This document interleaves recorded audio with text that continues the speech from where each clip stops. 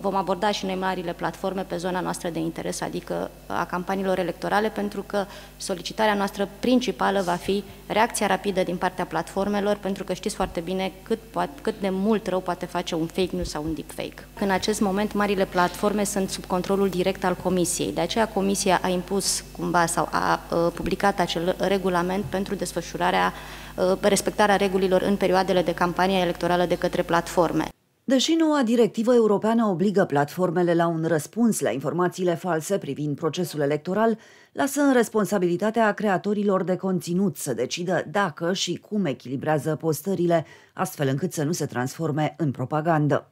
Ține foarte mult de noi, ține foarte mult de noi de presă, de noi de uh, radiodifuzori, de noi de cei din zona de digital, de partea de conținut din zona de digital, ține foarte mult să respectăm, să respectăm toate aceste principii, pentru că în momentul de față este destul de greu ca un singur organism, o singură, uh, nu știu, un singur consiliu la un anumit nivel pe care n-aș ști să ți-l definesc european sau local, să reglementeze conținutul, în special în zona de, de platforme. O noutate în acest an electoral o reprezintă mutarea dezbaterilor între candidații desemnați de partide în mediul online. Aici, regulile dezbaterilor electorale clasice, televizate, precum respectarea principiului pluralismului politic, nu se aplică. Este echivalentul calității uh, multor politicieni.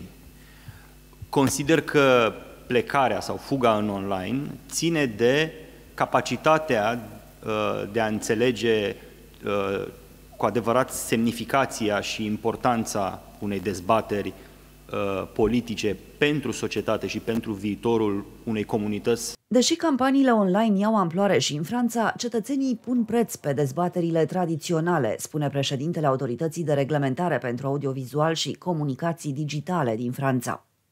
Et s'agissant de la politique, on, observe à tous les scrutins que la, cristallisation des opinions publiques se fait quand même beaucoup à travers des émissions politiques qui se déroulent pendant les campagnes électorales.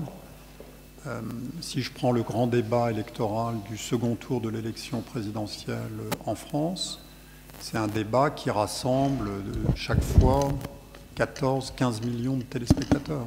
Deși Comisia Europeană comunică în numele tuturor statelor membre cu marile platforme, România colaborează cu Polonia și țările Baltice pentru a implementa un sistem comun prin care să se adreseze direct marilor jucători din online.